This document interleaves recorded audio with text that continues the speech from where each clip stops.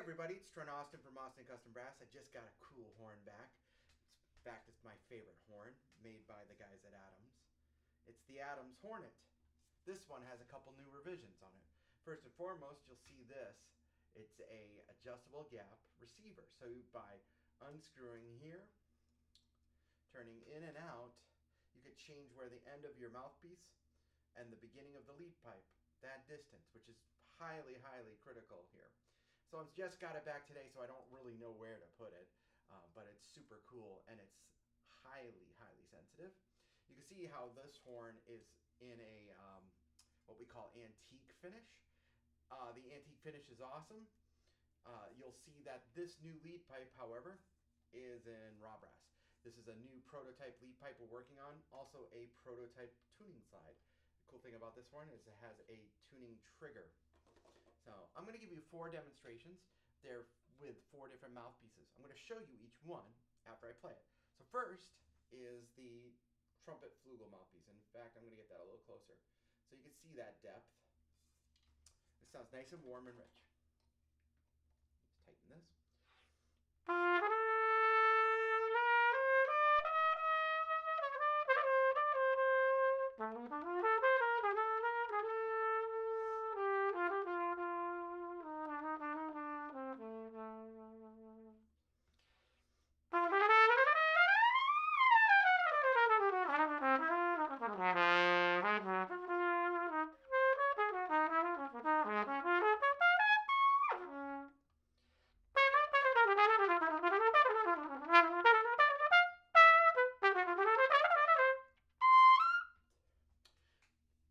Mouthpiece I'm actually going to use for the majority of my playing on this horn, the hornet, because it really it really works wonderfully with this instrument and the large bore.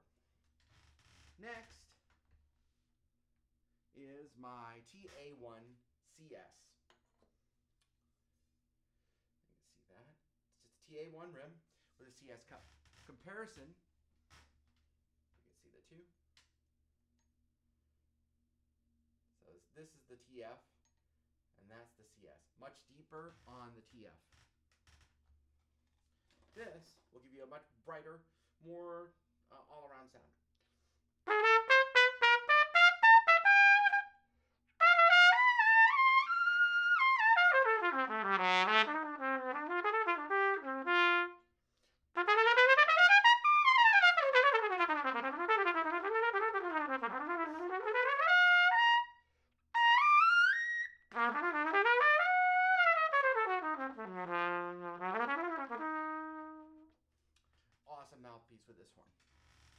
But say you want something super rich, warm, and creamy. This guy is ultra deep. See if I can get there. You can see actually on the side profile, you can see how deep that is. And it's also really short shanked. So that actually gets more of a dark, dark cornet vibe on this.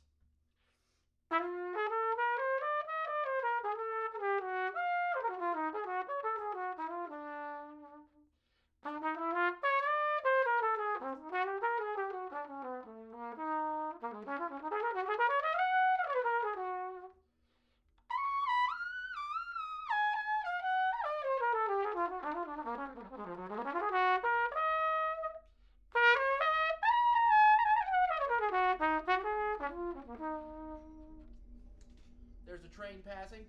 Choo choo. And for something a little ridiculous, this is my lead mouthpiece that I made for this horn. And I'm actually going to back the gap up one whole revolution to see what happens. Hope it just doesn't pop my new ribbon mic.